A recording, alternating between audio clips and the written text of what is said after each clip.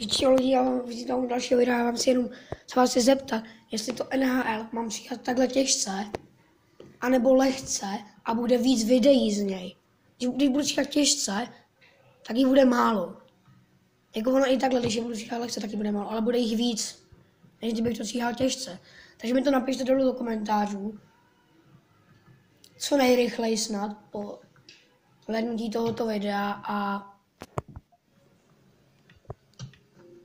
no, Extraligu, Extraliga bude to, Extraliga bude pořád. Každý zápas se pokusím.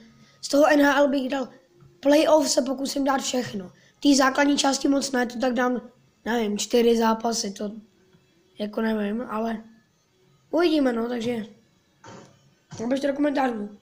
Čus.